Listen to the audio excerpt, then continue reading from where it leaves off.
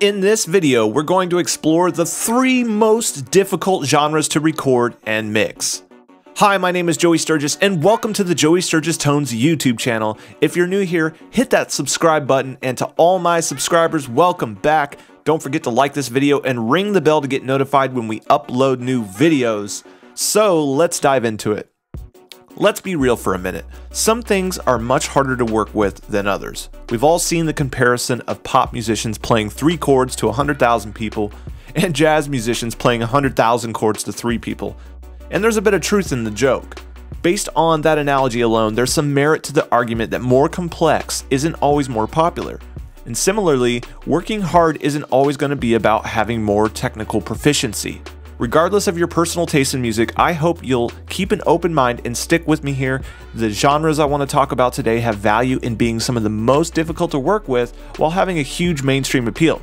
We won't get into any kind of subgenre nonsense that's difficult because you've never heard of it. Alright, I'm a little biased on this one, but first, we're going to talk about metal. For many engineers and producers, metal requires the most technical aptitude to achieve the perfect mix.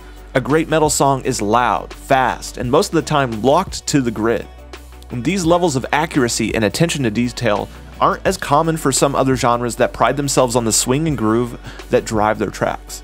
Other genres that do demand this type of dedication often aren't doing it anywhere near the beats per minute you'll find in a metal song. Metal engineers and producers need to be experts at editing, Tasks like time alignment and sample replacement are often prerequisites for a consistent sound before the song even reaches the mix session. When you do reach the mix session, you've got extended instruments galore to work with.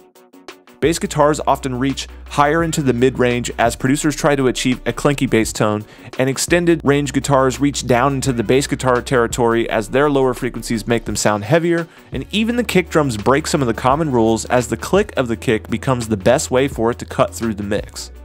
I could go on for days about why metal is so different from other genres, but I think that's why those that work with it love it so much.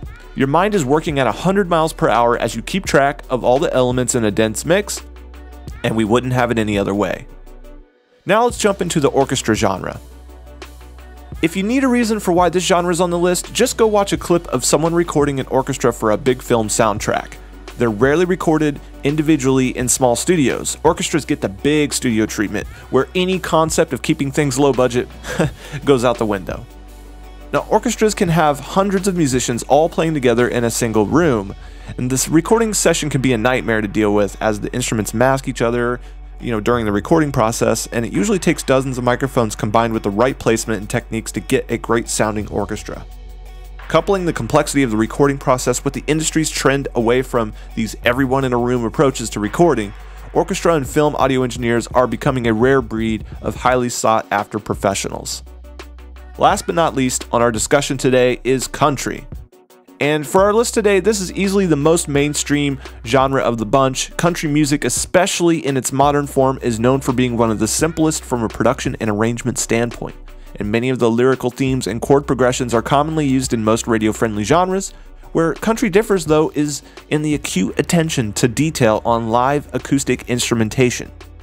As country becomes more and more influenced by rock and pop, the acoustic elements don't fade away. Things like acoustic guitars, mandolins, and banjos are commonly heard in top 40 country songs, and recording or mixing them is an art form in and of itself. Modern country engineers know that it's about capturing the unique characteristic of the instrument in the recording sessions and mixing them in a way that enhances those characteristics alongside the rest of the tracks. Tools like Busglue Billy Decker take these enhancements and put them into easy to control plugins, but having the capability to apply it is only half the battle. You need to know when to use them and how much to use. The same attention carries over into other instruments like drums and electric guitars. Country is still the most common genre to use live acoustic drums, and the shimmery cleans and edge of breakup overdrives are enough to make you understand why the artistic liberties that a studio affords have not been lost in this genre.